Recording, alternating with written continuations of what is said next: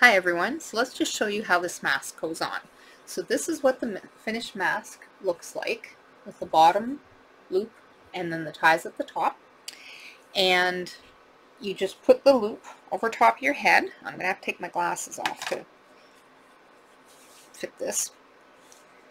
And you pull the ties, pull this over your head like this, give the ties a pull, and you can play it tightening it, however way you need to. And you take the nose piece. Now I don't have it as tight as I'd like to. And go back and fix the tightening. Once you've done it once, it's not a big deal. It's pretty easy to do. And you can get that nose piece in super secure so that it does not fog up your glasses. So you can see here, it's in there nice and snug. And um, yeah, there's no risk of anything on the sides. And I can get it a little snugger than what I currently have. So you get a really good coverage with it. I have three layers of fabric and I can breathe easily through it. Well, I hope that you'll enjoy making this mask, so let's get to it. Let's just go ahead and do one.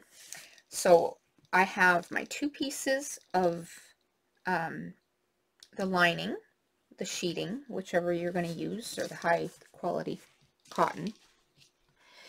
And this is the eight and a half inches. This is the, the uh, height of the piece, just like your exterior. And you're, you're going to take that and you're going to fold it in half. So the height is this way. This thing is making a lot of noise. And then go ahead and press it.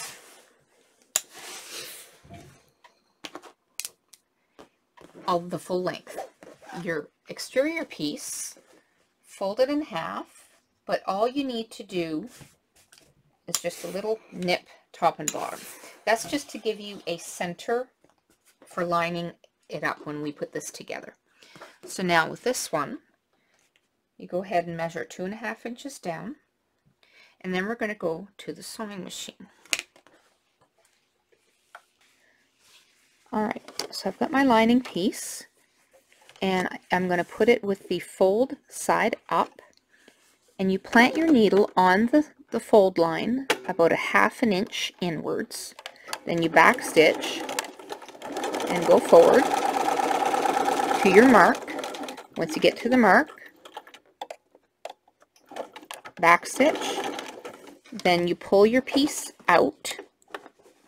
You move it or not out but you move it forward about a half an inch past your mark. Back stitch to the mark. Then move forward. Back stitch. And that piece is done. We're going to go back to the ironing board all right back at the ironing board I'm going to clip all those threads in between at the beginning. And now we're going to create the slit with the folding pressing. Okay, so lay it on the board. Take one side, better get in the camera, right? Take one side, fold it over onto the seam line and give it a press. Then you take the two layers, pull them apart like that so that it does, it creates the opening. And then that's done. And then what we're going to do is what I've done on the previous ones. You bar tack, and I'm going to try to get this up close to the camera so you guys can see this. You do a bar tack right here at the beginning and at the end of the opening so that it will secure it so it doesn't tear out because that's a high stress point. So I'm going to do that off camera and I'll be right back. So I did this the same way as I did the seam. I did the bar tack here and then I just pulled it down and did the other bar tack and then you just go ahead and cut your threads in between. And that's done. Now, if you were not wanting to put a removable mask, let's say you just, you know what, I'm just going to do three layers of this instead and make it a built-in one. You wouldn't go through all this. Uh, let me grab one that hasn't been done yet. You would just take your lining pieces and just stack them like this. That's it. And they would go into the mask like I'm about to show you with the one that has the slit. Alright, so here's our piece that we have folded to give us little marks top and bottom. I can just, just see it. And then you take your lining piece and you line up seam with your little marks. And then we're going to go ahead and stitch this at a half an inch seam allowance, top and bottom.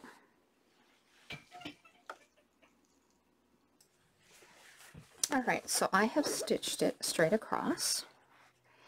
And there's a reason for having stitched straight, straight across because you would think that normally you would kind of just start here, back stitch, go here, back stitch, but you don't need to. Just start at the very edge of your fabric, do the half inch seam allowance, and go straight across. And there's a reason for that. It'll make it a whole lot easier to um, to press in the next step. It gives you a guideline is what it does. And I forgot to mention that these two go right sides together. So if your fabric does have a right side, you're going to put right sides together. Okay, now you turn it right side out. And then you're going to give it a press with the seam allowances going towards your exterior fabric.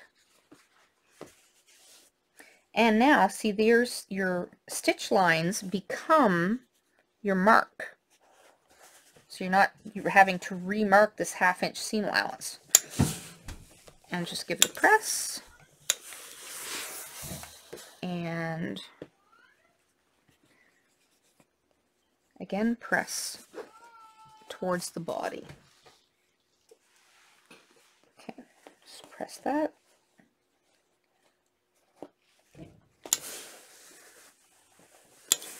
and just right along the seam line. All right, now with it towards, uh, with the um, right side up, this makes it so you can really see to make sure you don't have your lining showing at the top.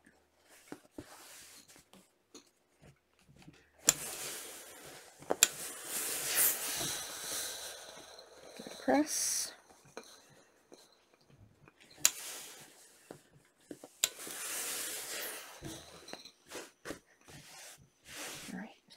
And now we're ready to um, make the channel to put the wire in. And I tried doing it without, or doing it by having the wire inside and just putting the wire in after. I found it easy to not, easier to not have the wire on the inside. So that's what I'm going to do. I'm going to just go, go ahead and do the um, channel and then pop the wire in after because I found it's more of a nuisance. The only way to make it easier is to use a um, zipper foot and I just totally dislike zipper feet because I don't find they feed well. Um, so I'm just not going to do it that way. I prefer to pop the wire in after. Alright, so I've got my ends all bent. Again, this is just stainless steel wire. It's not the plastic coated garden wire, which I would prefer, but this is what I've got.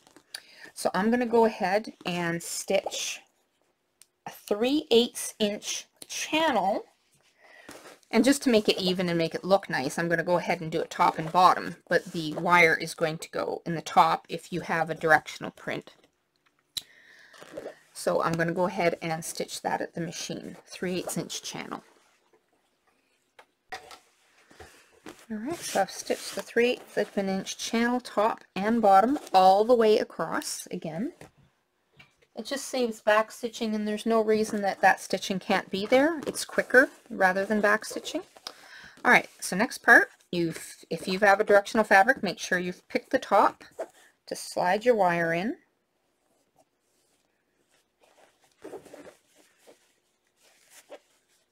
And center it. There we go.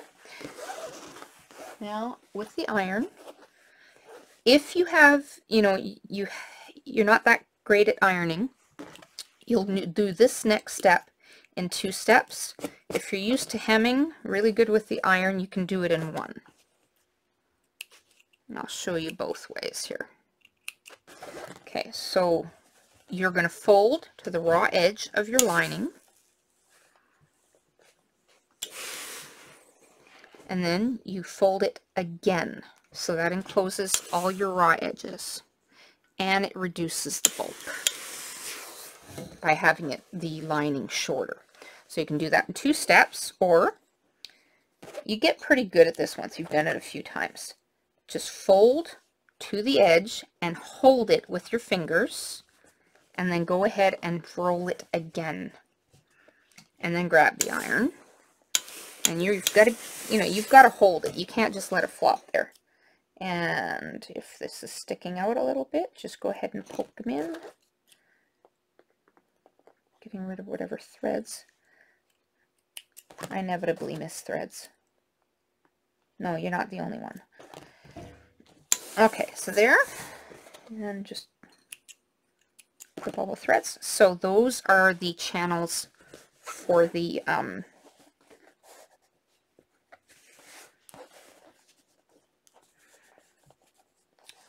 feels like one side's not. It's a little wider than the other one. I'm just going to tweak it a little bit. Okay. So there's the channel for the cord. And what I did with this, because I am really low on supplies, I had some half-inch twill tape, which is a real nuisance if you're going to do it this way. What I did is I folded my twill tape in half, stitching it down, and then I knotted the ends, so it's just like a cord. And we're going to lay that in the channel, and we're going to um, finish it. And the way to do this all in one step, you go ahead, you lay it at the top of the mask, so where your wire is, you lay it at the top, and then flip it to this side, and we're going to go to the to the sewing machine.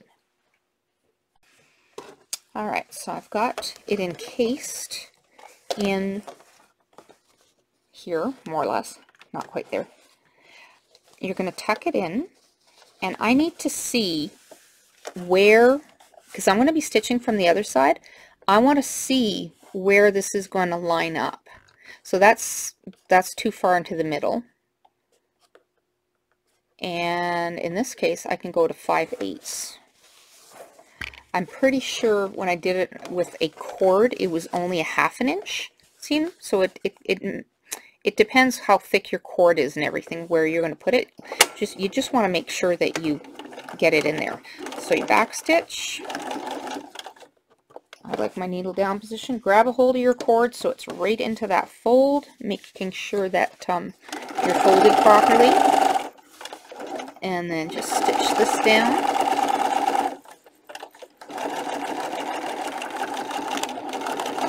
And then take the cord and the mask, and you're going to kind of flip this around here.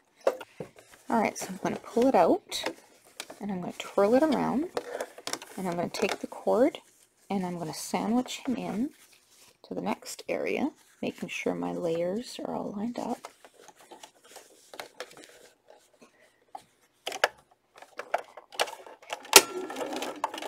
I'm not going to worry about the bottom right now. I'm just trying to get that top part secured. Then you can go ahead and grab the bottom of the cord, give it a tug, use your fingers, make sure he's all sandwiched in there.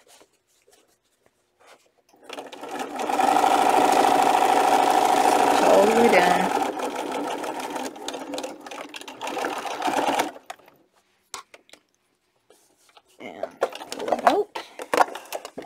So we've got threads to clip and the mask is done. And you can see how quick that was to whip together.